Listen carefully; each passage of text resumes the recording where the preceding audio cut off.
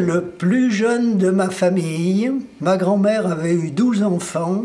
Elle en avait perdu 6 en bas âge, ce qui était la règle à cette époque, la fécondité normale étant d'une douzaine d'enfants par femme et la mortalité infantile étant de l'ordre de 50% des enfants nés.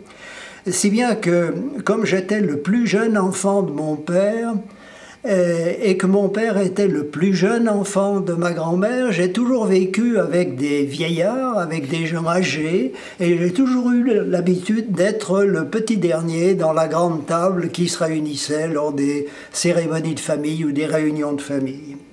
Et ça m'a probablement euh, appris un, certain art de vivre, une certaine pudeur et en même temps euh, euh, un certain respect pour euh, les gens âgés dont j'écoutais attentivement les histoires, les paroles, euh, car nous vivions à une époque où, bien entendu, il n'y avait pas de télévision. Je parle de mon enfance et adolescence, à peine la radio. L'installation d'un poste de radio dans ma famille a été contemporain de 1942, c'est-à-dire de Stalingrad, et je me souviens, oui, c'était absolument invraisemblable, si bien qu'on parlait beaucoup et on racontait des histoires, toutes choses qui ont disparu avec euh, euh, cette gigantesque entreprise de crétinisation que représente la télévision actuellement. Euh, dans ma famille, il n'y avait absolument pas d'antécédents médicaux. Mon grand-père était maréchal ferrant, mon père était ingénieur électricien, sorti de l'Institut électrotechnique de Grenoble.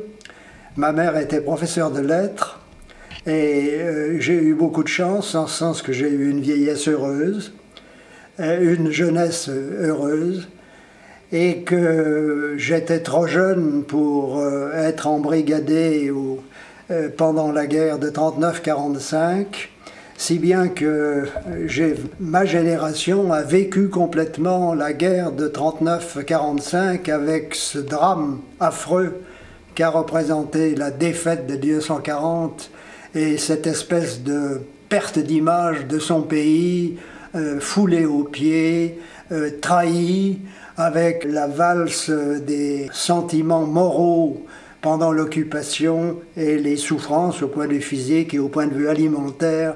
J'ai eu faim et froid comme beaucoup de Français à ce moment-là. Et quand je suis entré en médecine, il y avait une différence pour les enfants de médecins qui étaient au courant de ce qu'il fallait faire. Ils connaissaient l'externat, l'internat et les préparations, alors que j'arrivais là-dedans euh, et je n'étais pas bien au courant. J'ai beaucoup travaillé. Et notre génération a travaillé de façon très importante, véritablement avec des horaires d'activité qui étaient de l'ordre de 60 heures ou 70 heures par semaine. Je ne parle pas des gardes, je n'ai hospitalière, etc. Et ma carrière s'est déroulée avec une réussite à l'externat. J'ai eu la chance à l'internat de réussir euh, doyen de l'internat en 1950 dans le concours du demi-siècle. Et puis ensuite, ma carrière s'est déroulée en cardiologie avec euh, la chance inouïe d'avoir été un élève du professeur Froment, qui était cardiologue et qui était un homme euh, véritablement exceptionnel au plein sens du.